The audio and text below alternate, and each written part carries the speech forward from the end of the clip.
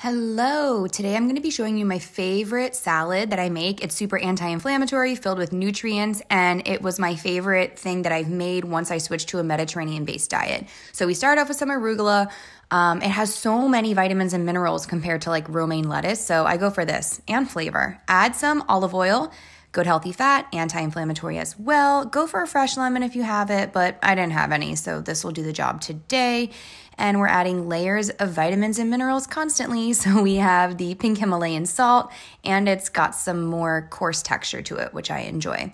Then we're gonna add in some cucumbers. These are really cleansing for the body and anti inflammatory, as well as avocado, which is packed with nutrients. Then we're gonna add our protein. No animal protein in the salad today, so I'm using chickpeas, and it has 12 whole grams, and that's a mini can. Next is gonna be olives. I love that salty flavor and some feta cheese. And when I tell you this is so delicious, simple, and nutritious, you have to try it.